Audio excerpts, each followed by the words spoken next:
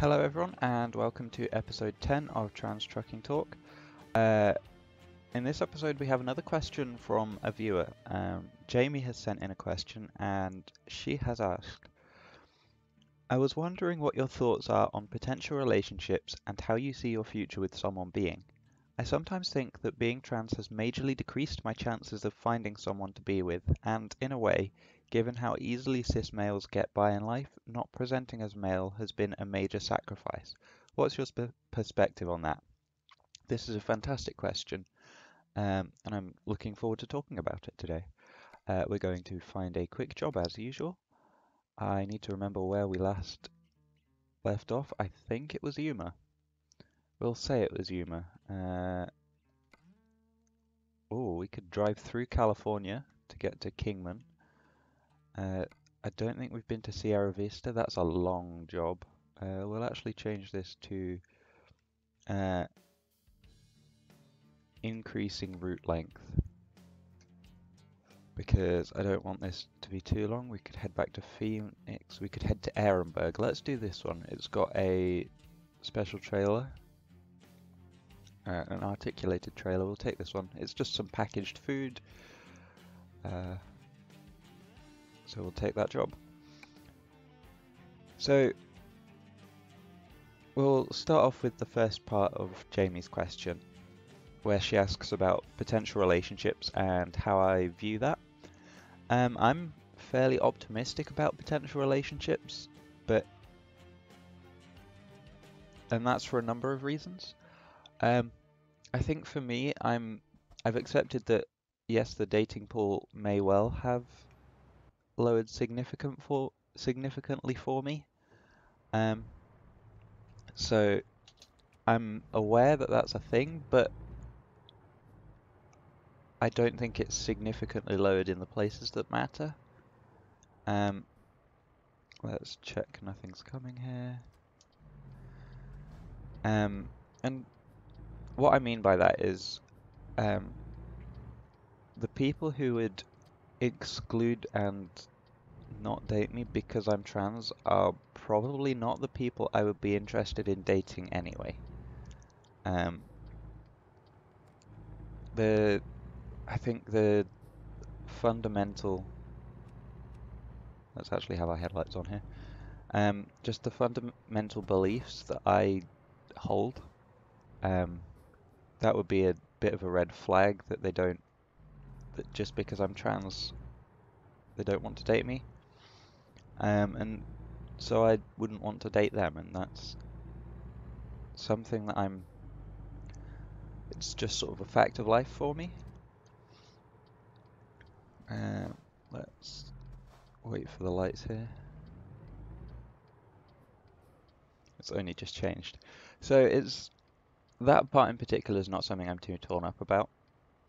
And sure, that category includes people who are otherwise good people who just don't want to date trans people, and I mean that's fine. It's no one's forcing anyone to be attracted to people they aren't attracted to. Like, or at least I'm not. Um, like, if you are attracted to women, but you Oh, I didn't realize this was merging quite so soon. But if you are um,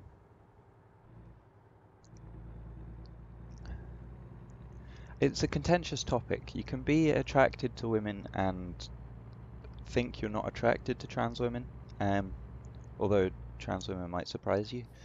In that, how, how I mean that is, there are trans women who pass 100% as women 100% of the time and would never need to disclose that to anyone. So it's not something you can 100% tell. And if it really bothers you, then, I mean, I guess ask, but the majority of people aren't going to be too happy asked if they're being asked that. Um, just, yeah, it's a it's a difficult topic.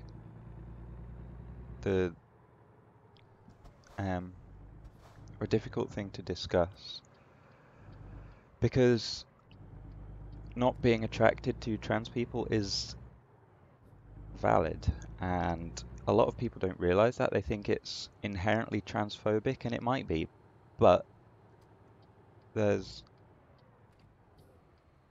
Okay, that truck's stopping. We didn't crash.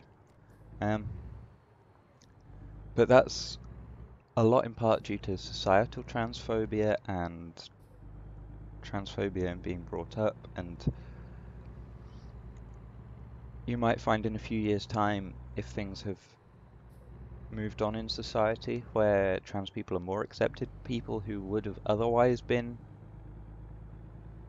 um, I guess exclusionary of trans people in their dating pool um, maybe they'll be more open-minded but it's not for us to tell anyone that they should be attracted to us um, But as far as dating goes, there are still plenty of people out there who do date trans people. Um, not least other trans people or other non-binary people. Um, people in the LGBT community are often fairly open to the idea of dating trans people, and there are plenty of cis people who are who wouldn't bat an eyelid. Um, I have an acquaintance who um, was starting to uh, talk to a girl and he um, went on a couple of successful dates with her um, and it was progressing to a point and she told him hey I think before anything goes any further I want you to know that um, I'm trans and I transitioned years ago and um, this is where I stand now, is this going to be a problem? And he was sat with a friend at the time and um, he was like, oh, this person I've been on a date with has just texted me saying she transitioned a few years ago. Uh, and his friend was like, is that a problem for you? He And he thought about it for a second and he was like, no. And carried on with it. Um, and he's a cis guy. Um, so that yeah, there are plenty of people who fall within the gender binary and who are cis who are perfectly fine with dating trans people. It's not something that bothers them. So it, the if you look in the right places, the dating pool may not be as reduced as you think is what I'm trying to say.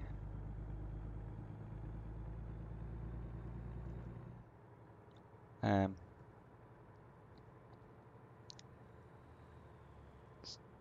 just see where we're going here, and then I'll pull up the question again when we're on a bit of an easier road.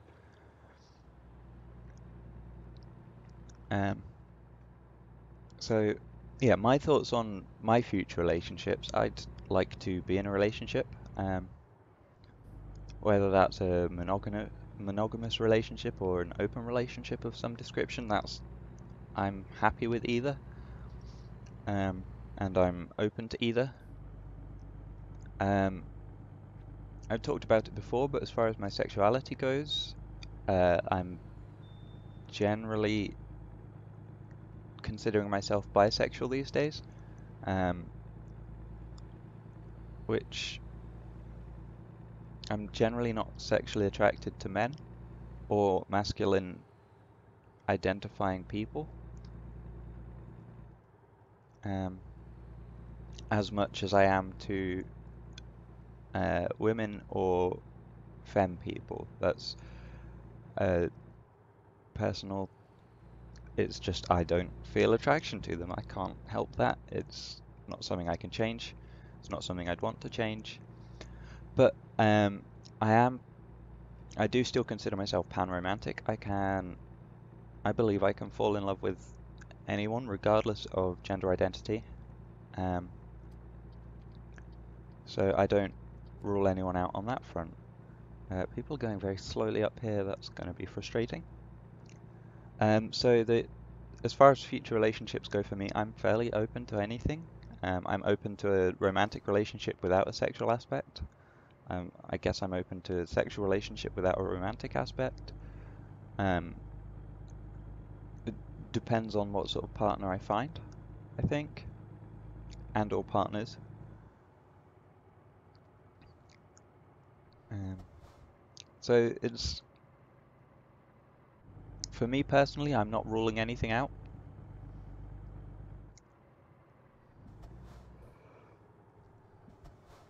So I'm hopeful that I'll be able to find a relationship that I'm happy in. This bus is turning here.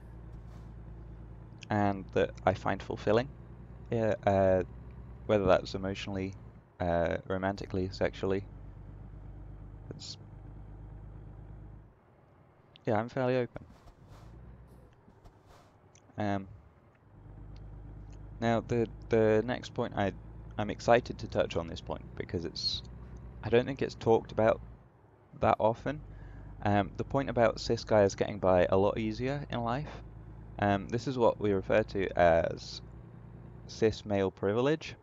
Um, privilege shouldn't be seen as a negative word. It just means by default you have certain advantages over someone who doesn't have that privilege. Um, and that's not to say that if you are a cis white guy that your life will be easy. That's not what it means at all. It means there are what it does mean is there are certain assumptions made about you or certain societal um, things that make other things potentially a lot easier for you. Um, so when you are a trans woman in particular, you do tend to give up the cis male privilege uh, that comes with being a cis man. Um, and that's definitely something that you need to take in mind when you're transitioning. People will start to see you differently.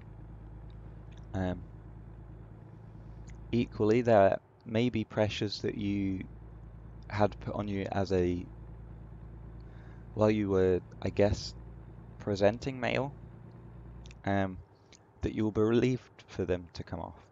Um, one of the big ones for me when I started transitioning is I felt a lot more easily able to be emotional. Um, for all that it's worth, I don't hold any grudges against people for this, but when I was presenting male before I knew I was trans, I had a very difficult time being emotional. Um, I think in part due to the depression that I was slipping into, but also in part due to the pressures particular members of my family and friend group put on me. Um, as a guy, often you have to be stoic and um, and aggressive and hardy, and um, this is what's called toxic masculinity. Is the idea that all guys have to be aggressive and hardy and um, a very manly man. I know that's a bit of a sort of that's a bit tautological, but um, there's there's this idea that you have to be a certain way as a guy, and often that trends towards being an asshole, to put it shortly. Uh, can we? Let's wait for this one to pass.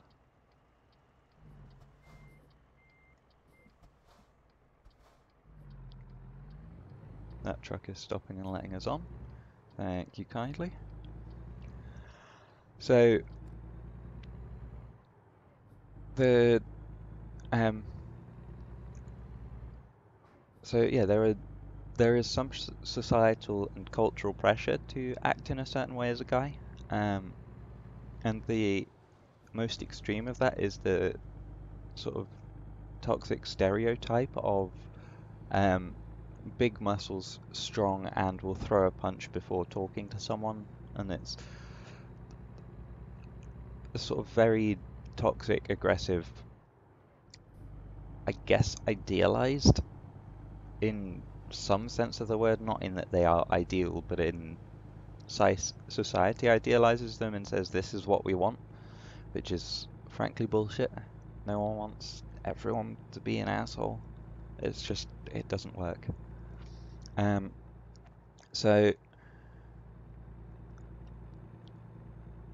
I think stripping back all of those assumptions uh, when you come out as a trans woman, in particular, it can be rewarding and freeing. And I know it was for me. I felt, like I said, I felt I could be more emotional. Um, I felt like I'd be less judged for things I enjoyed. Um, so there is that side to it, but there is also the side where you give up a lot of privileges. Um, like, as a cis guy and a cis white guy, um, which is the perspective I'm coming from, as that especially, you, you are assumed the default. You are the average person um, in society. Um, at least as society sees it. So there are a lot of assumptions made about you that can help you advance further and quicker than other people who do not have these assumptions made about them. Um, you are presumed to be stronger, you are presumed to be more capable of physical labor, you are presumed to be more capable of intellect intellectualism, I guess. Um, you are perceived as naturally more intelligent. You are perceived as. Uh, there, there are lots of examples of things people assume it about you just because you are a white guy. You're generally perceived to be more trustworthy. Um, so you you do give up a lot of privilege when you start to transition. Um, so it's an important point to touch on definitely because uh, it's it's something that can often go unnoticed um, and unconsidered because things do become a lot more difficult because of that when you when you come out and when you give up that privilege. Um, I'm just trying to think if there's anything else in particular that I want to say about this. Uh,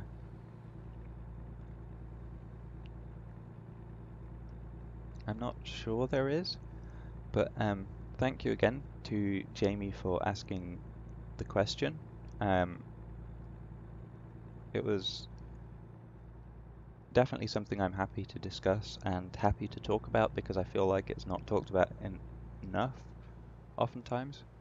Um, this giving up of privilege and also the considerations into future dating. Um, I think that one's talked about more than the privileges, but it's still talking is always good. Uh, I need to work out exactly where I'm going here. Um, okay, I think I'm in the right lane. I don't want to turn off here, that's all I need to know. Okay, it adds an extra lane for turning off, so we're fine. And we should be able to get past this cement mixer before our turning. So, um, yeah, thank you again to Jamie for submitting her question. Um, for the last part of this episode, I wanted to talk a little bit about the future of this series. Um, this is going to be the last regular episode of the series until I get more topic suggestions that I want to talk about or um, more questions to answer. Um, I will still be making and uploading videos, um, but I think they're going to be less heavily focused on trans issues and they're just going to be more gameplay videos. Um, and as such will be in a different playlist. I will put everything in an entirely new playlist, which is every trucking video, uh, so that you can watch the progress of the series from start to finish. Um, but yeah, for the, I think moving forwards, the sort of average episode will be just gameplay and me rambling about anything I feel like rambling that day. Um, rather than specific topics or um, or specific dis discussions that I want to have.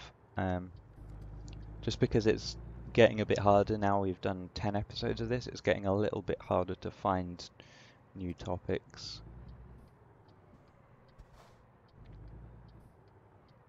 Okay, we need to take a wide route in here. Um, so, yeah, the format will change slightly and there'll be a new playlist for uh, where does it want me to? Oh Lord, no, I'm not doing that. Um, there'll be a new playlist to for just the ones where it's gameplay, but there'll be a second new playlist which includes every trucking video so that people can watch them all in order if they want. Um, and in the other series, videos might go on longer. They might, I might split journeys up uh, across multiple videos if they're longer.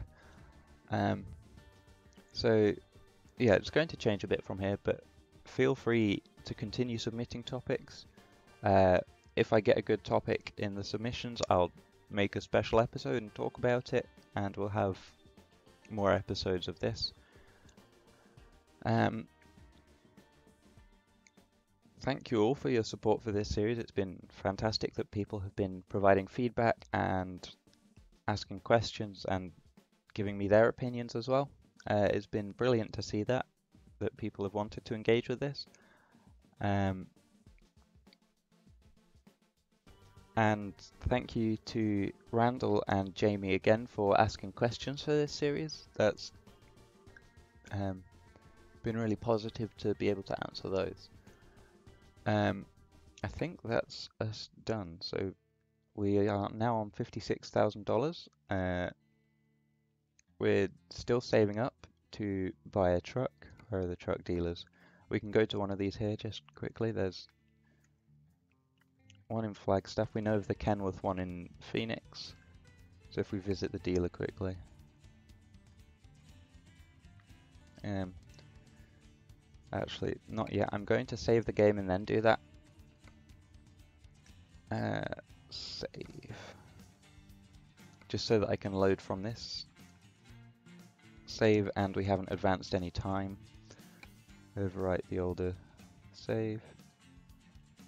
Uh, truck dealers.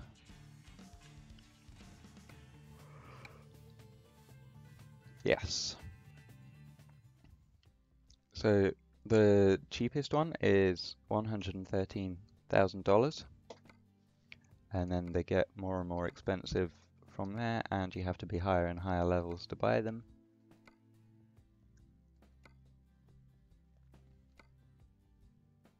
Um, so yeah, these are the sorts of trucks you can buy at higher levels. Um, this is probably the one we're getting because it's cheap or cheaper. Um, I might see in the early episodes of this new series if I can discover a Peterbilt um, truck dealer as well, so that we have options. Um, but yeah, that's going to do it for this episode of Trans Trucking Talk. Thank you all for watching and see you next time. Bye.